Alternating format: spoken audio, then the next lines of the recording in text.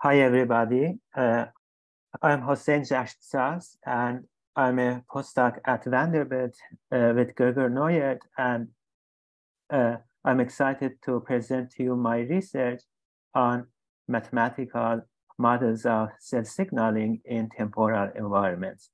And first of that, I would like to also thank the organizers for this opportunity. And so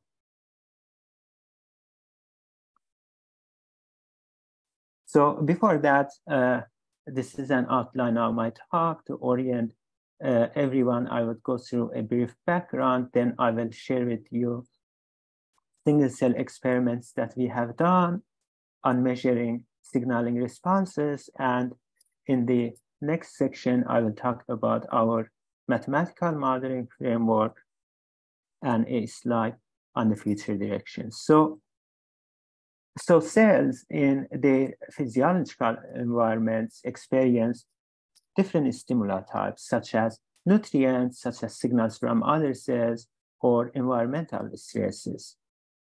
So the uh, this this stimuli changes over time and space, and the cells, in order to adapt to such changes, undergo a variety of functions, such as their shape could change, their growth division could change, or a change in their gene expression pattern. So to uh, perform these functions, cells uh, uh, implement these signal transduction networks where proteins regulate each other to enable the cells to give a response. But the dynamics of the signaling proteins, such as their phosphorylation over time or their nuclear localization over time, is important in determining cellular fate decision. For example, for P53, which is a DNA damage sensor, it's shown that it is pulsatile activity versus it is sustained activity over time could result in different phenotypes. And these dynamics, it's shown that for P53, for example, pulsatile activity is due to this negative feedback from MDM2 at the downstream of P53 activity. And uh, blocking this negative feedback using drugs could transition these pulses to a sustained response. So I'm interested to understand in this project uh, uh, how, how does the different signaling proteins uh, uh, interact with each other, how those give rise to different cellular response dynamics over time and how the two uh, impact uh, cellular response and phenotype.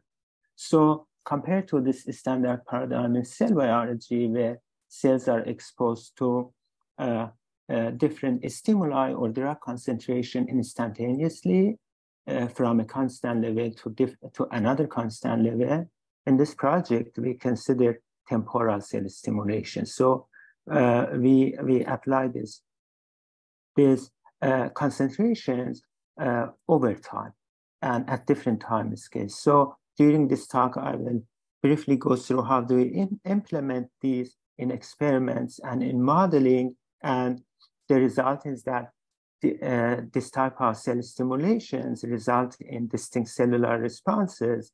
And I will discuss how these type of data sets are really helpful in parameterizing and building predictive signaling models. So in the experiments, I should also first point out this framework in both experiment and the modeling is general and could be applied to different cell types. But here in this part, I will uh, share with you our results on using yeast cells. So, so the system I'm using, the model system I'm using is uh, uh, Saccharomyces cerevisiae yeast, and uh, when, when, this, when this yeast says um, the, uh, the osmolarity changes in their environment, such as an increase in the concentration of salt or sugar, the cell volume shrinks down and the water leaves the cell, and that's stressful for the cell. And the cells implement this uh, HOG1 pathway, which stands for high osmolarity glycerol, to, uh, to uh, uh adapt to this environment. So when the osmolarity changes in the environment of the cell, there are different proteins in this pathway that go through phosphorylation, and at the end, HOG1 gets phosphorylated and this helps the cells in osmoadaptation. adaptation. So there are few processes here involved. HOG1 upon phosphorylation through different branches, SLN1 and SHO1 branch, uh, gets unphosphorylated by phosphatases. But HOG1's phosphorylation helps the glycerol to uh, helps the cells to shut down this glycerol efflux channels, and that's how the cells maintain internal glycerol. And HOG1 translocates to nucleus and upregulates uh, essentially the, the genes that are important in this glycerol production and maintenance. And some of them are GPD1, 2, or GPP1 and 2. So this HOG1's nuclear localization allow, allows us to tag this with fluorophore and use, use uh, fluorescence microscopy and use this as a readout for pathway activation. So in the experiment, we are interested in basically increasing the concentration of salt as a change in osmolarity and quantify this HOG1 nuclear localization. So in this slide, I will show how do we achieve this temporal uh, stimuli. So we use a pump that gradually pumps in a concentrated uh, stimulus to this um, uh, to this flask where there is a mixer and that mixes this and we program this pump such that we are able to achieve any concentration over time uh, uh, in, in these flags, which we are delivering that using these tubes to the cells that are sitting in this flow chamber using another pump too that's functioning in a small rate. And, and the, the cells are, uh, the HOG1 kinase is tagged with fluorophore and localizes to nucleus when osmolarity increases. And we, uh, we register these images. So here in this movie, each ring shows one of the yeast cells and the color red shows this, uh, this HOG1 localized to nucleus and this is playing in a fast mode and in a loop. So we register these images at, at different at different time points and we do image segmentation single cell analysis and correction for photo bleaching over time, and we end up with these trajectories for single cells over time. Then we get the means of hundreds of such single cells as a HOG1 nuclear localization for the measure of pathway activation. So using this, now we are able to quantify these signaling responses under different stimuli uh, conditions. In the left, I'm showing different profiles of salt increases to 0.6 molar within 25 minutes. And compared to a, a sudden step, like we use this nonlinear polynomial inputs that they go out with a delay and they start with a, small, a slow rate, then the rate also is increasing over time. So in this panel C, I'm showing the quantified uh, uh, volume change of the single cells from uh, few biological replicates, we see that in the no salt condition cells, uh, cells normally expand their volume. Uh, step results in a dramatic volume change, then it adapts back, and the temporal impulse results in a slow, slower and more gradual shrink in the cell volume. And at the signaling level, we see that the sudden step results in a most strong signaling activation going from step to the to the uh, last polynomial we see there is a lag that, uh, in the signaling activation and that comes from the fact that the rates are here slow then the peak response shifts to the right doesn't go as high as step all of them follows uh, adaptation to pre-stimuli level when we are uh, fixing this at this final concentration. So these are the type of data we are able to measure and quantify. And this is one final concentration I'm showing, but I have done these experiments at multiple final concentrations. Now we are interested to use this kind of rich data sets to uh, uh, to parameterize models and try to make predictions from those models for signaling activation. So in the modeling part, that I have worked, collaborated with Brian Munsky and Zach Fox.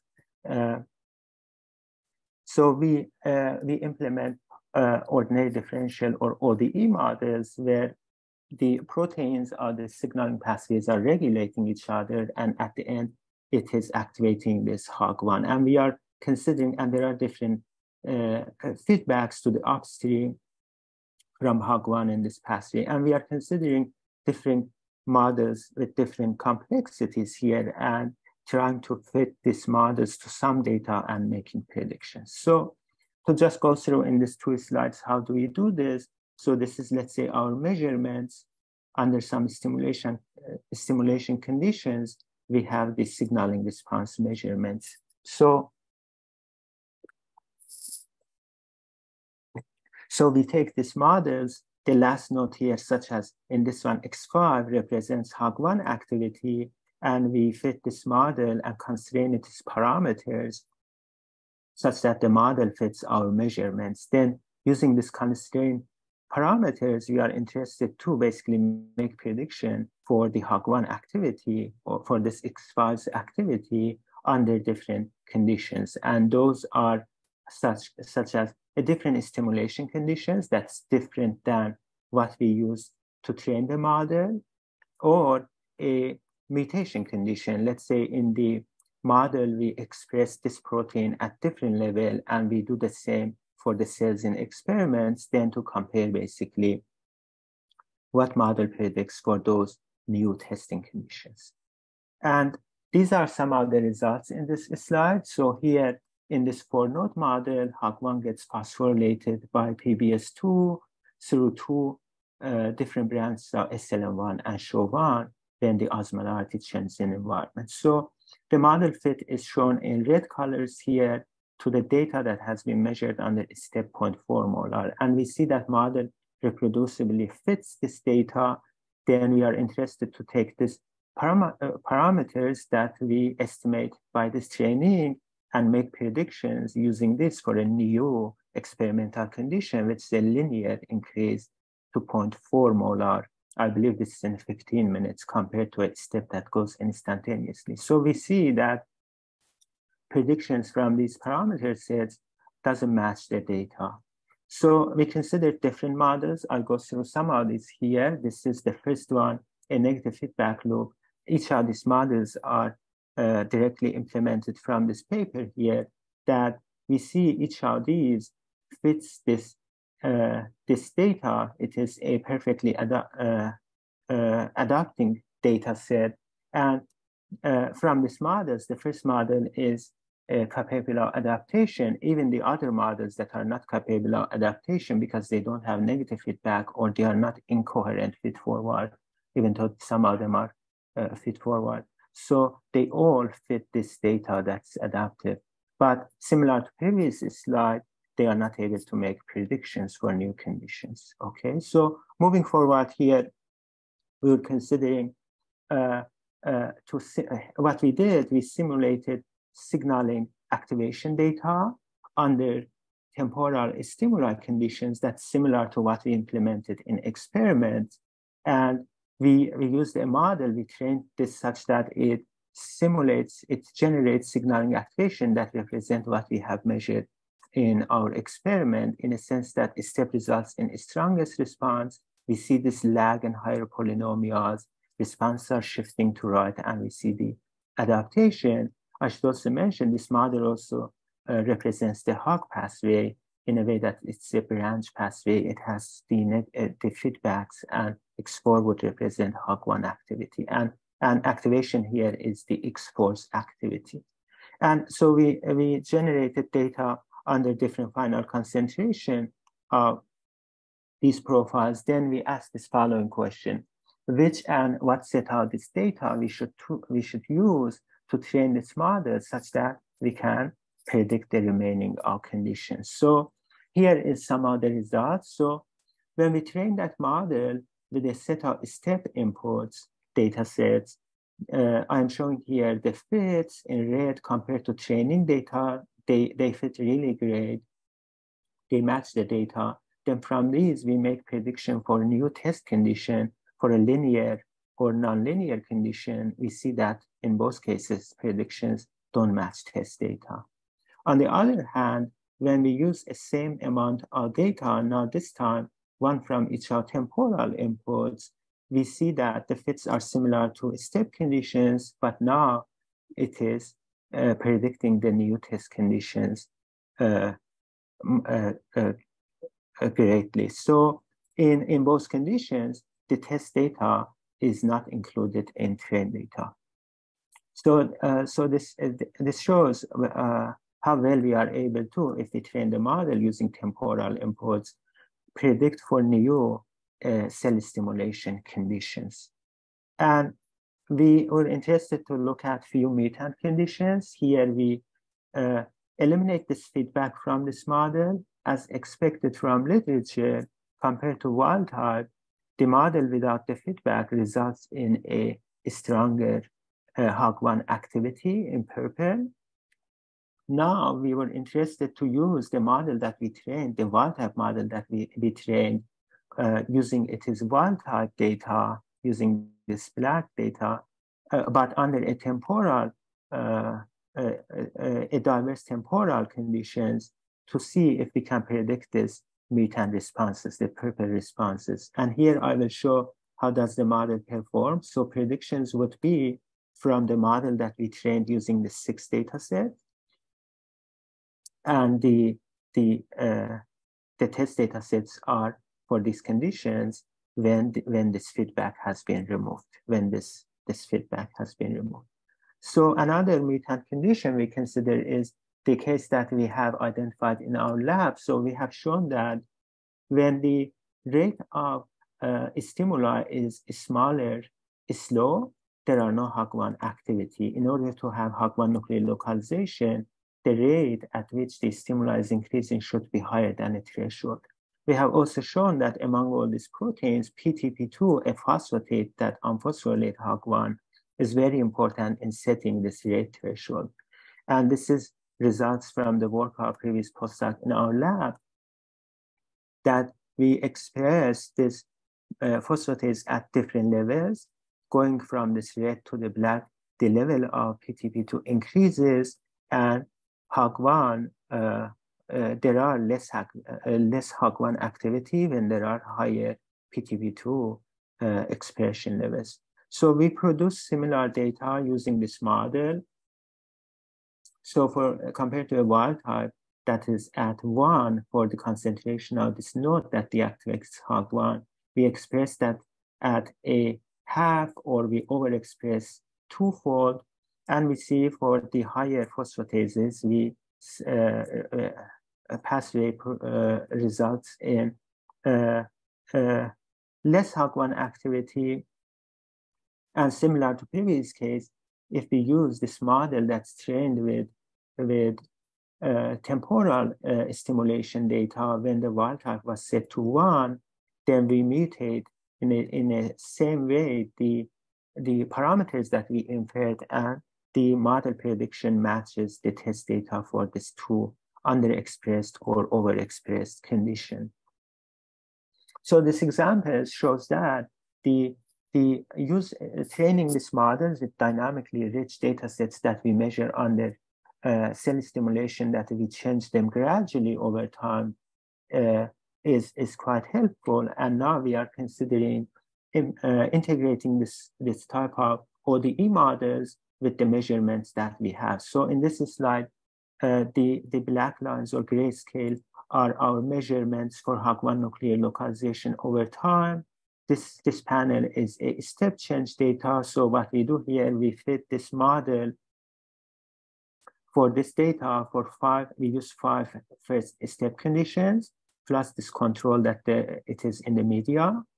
And we make the, the reds are fit and we make predictions for new conditions. Those are uh, two higher final concentration of the steps shown with the green. Predictions are green, reds are reds. And so when we uh, when we uh, predict uh, temporal input conditions, this is a, a root input or a linear input, we see that as we go away from this training condition, the predictions doesn't match the data. They are so uncertain and inaccurate. But on the other hand, similar to the simulations, when now we use one of each of these temporal inputs, we see that while we haven't been able to yet train this model, fit them as perfect as the step condition, but the predictions has improved quite uh, substantially. And if I show the quantification of this result, the errors between model fit or uh, predictions from its corresponding train or test data. These are the quantifications. When we use temporal training inputs, we see that the prediction of the uh, predictions are improved and the errors are smaller. So similar to these conditions, now we are integrating more detailed model of HOG, HOG1.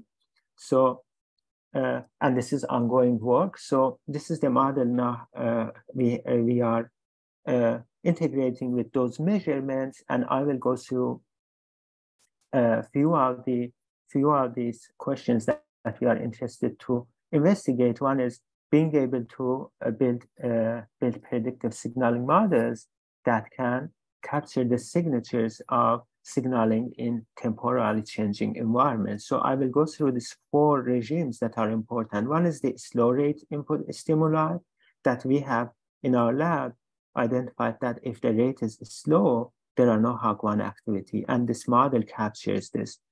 Another is the result of this, the implication of this is if the environment changes non-linearly, in the beginning when the rate is slow, there is no HOG1 activation, and the data and model captures this lag in the signaling activation before the rate starts to uh, hit that, uh, that threshold.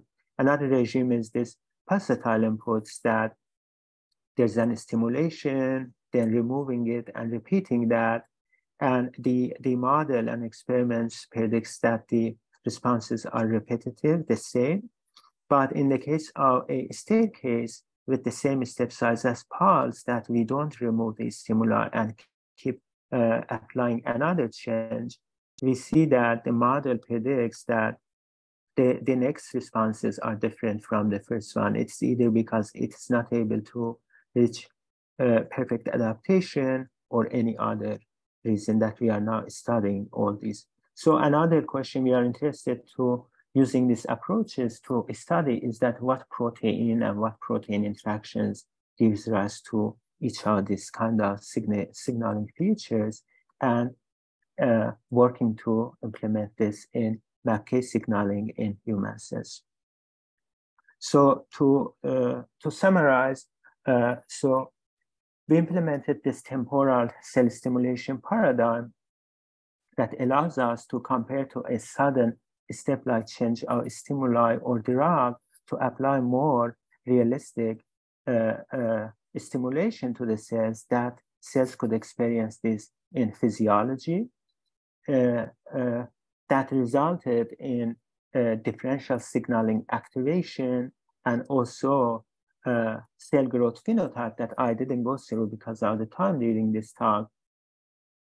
And the uh, using uh, using modeling approach, we showed that when we use temporal cell stimulation, that type of data sets better train signaling models, and that allowed us, this approach allowed us to predict cellular response under new stimuli and genetic perturbation conditions. So with that, uh, I would like to make my acknowledgements, everybody in the Neuert lab, my collaborators, my postdoctoral committee here at Vanderbilt, the resources, funding, and thank you for your attention. I'll take any questions. Okay, thank you very much for that great talk. We can do our Zoom applause. Um, there is a uh, question in the chat, which is, do I understand correctly that the test data is from the same stimulus response as the training data, but just different data points? Yeah, so, so the, no, the, the, the training, so we generated, let's say, um, uh, uh, uh, uh, eight by six um, uh, data sets. And we, those data sets, each of these data sets is one stimulation condition. And we use some of those stimulation conditions for training and another set for the for the testing. So to answer that question, the test conditions are entirely different profile that either goes up in a different shape or it goes to a, to a different final concentration. That was the case in both simulation and experiments. Great, thank you. Other other questions? Feel free to unmute yourself if you'd like to ask a question live. Okay, then I will do that. Uh, thanks a lot for the talk. I was wondering if it's also possible to maybe play by by mutations. I'm I'm not enough into this field, so this might be stupid, but play with like reaction rates because the time scales involved, especially in this going up and down, are I think dependent on the rates, right? In the end of the day. So is it possible to play with these to test that further, or is this very complicated? I think I remember that bacteria sometimes can can change these rates by mutations, right?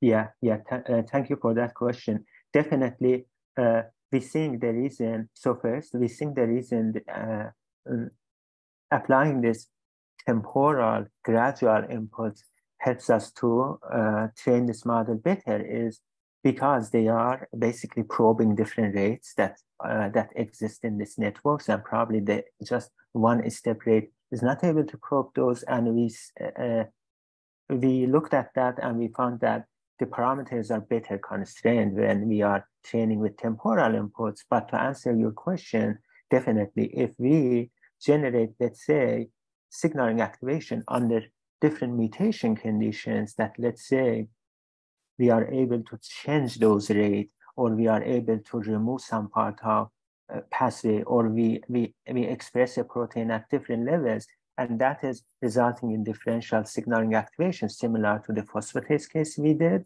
And that would be also reached to better constrained models but as you pointed out doing mutations and doing these studies is much harder than doing all these experiments on a wild type strain but rather setting these profiles in the extracellular.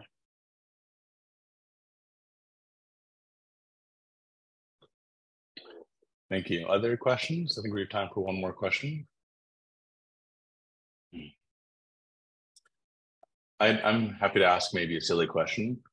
Um, so now that you've opened this kind of this ability to look at inputs that vary in time, that you've like this, there's this huge phase space that could be explored. Um, but then, of course, you don't want to explore everything. So, do you think there's any value to testing, for instance, non-monotonic inputs? Would you learn anything? Uh, do you think you would learn anything if you use non-monotonic inputs? Yes, definitely. So, so by by non, uh, yeah, by by by by that you mean if it's not just increasing, maybe we create pulses or or let's say a sine input. So a few things with uh, we so we are able to switch back between different media. So we can definitely use series of uh, we can combine this temporal inputs then we can wash we can switch back to media and apply another different type.